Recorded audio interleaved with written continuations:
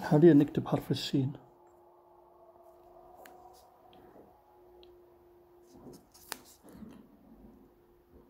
السن الأول.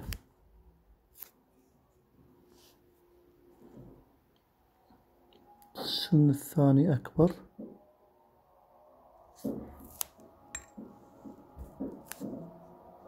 هذا المقطع يشبه حرف النون.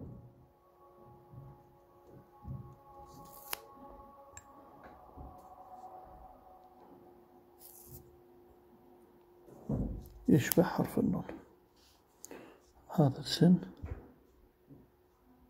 الأول السن الثاني.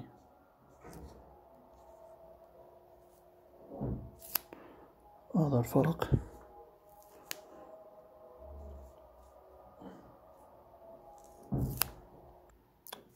هذا ميزان الكلمات أو الحروف.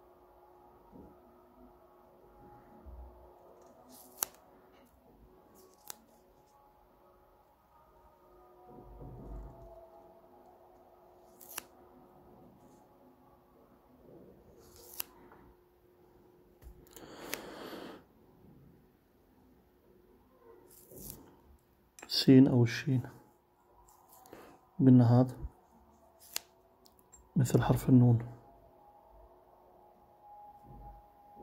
مرة راح نرجع لحرف النون. راح نشوف حالات النون. النون ينكتب أكثر من شكل. هذا واحد منهم. حرف السين الثاني اللي هو الممدود. هذا السين العادي. حرف السين الممدود. ننزل بالسين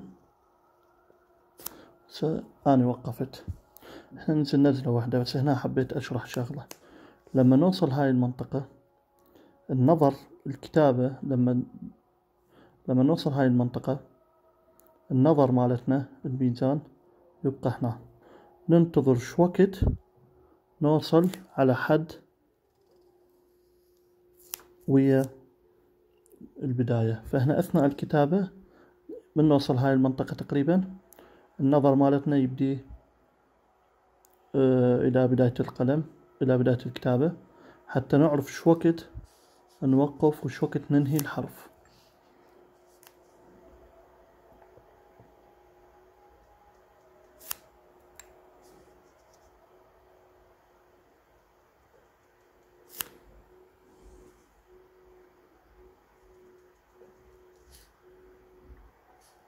شوف. بعدها.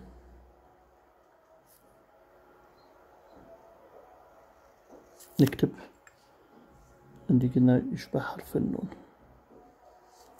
طبعا مو شرط يكون بهذا الشكل. حاليا نكتبه مرة واحدة. نكتبه قطعة واحدة. هنا أنا وقفت حتى أشرح لكم. يعني لما ننزل لما نوصل هاي المنطقة نستعد للدوران. النظر يصير هنا وهنا نفس الوقت. نشوف شو وقت نوصل تقريبيا شو وقت نوصل وياها بحد مستقيم. هسه نشوف حرف السين الممدود. نزلت. حاليا أنا دا أشوف شو وقت أطلع.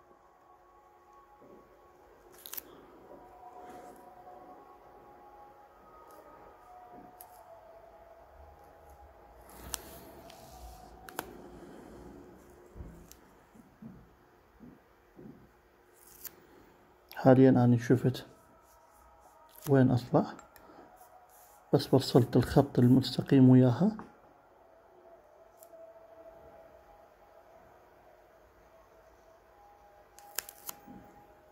كتبت.